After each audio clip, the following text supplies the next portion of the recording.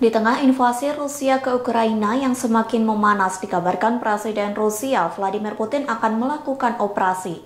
Rencananya Putin akan menjalankan operasi pengangkatan kanker seusai merayakan hari peringatan kemenangan 9 Mei.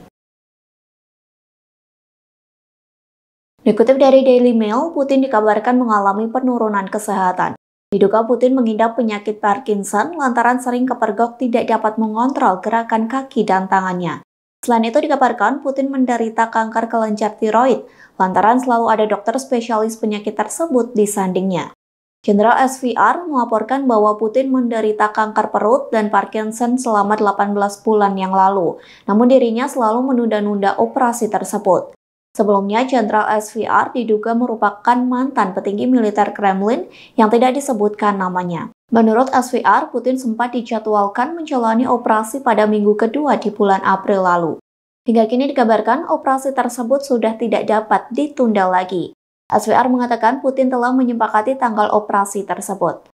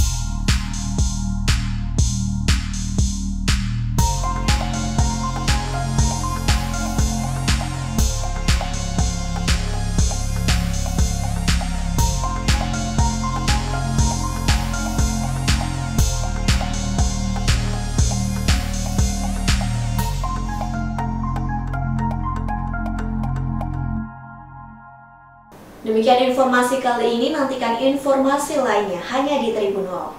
Terima kasih sudah nonton. Jangan lupa like, subscribe, dan share ya.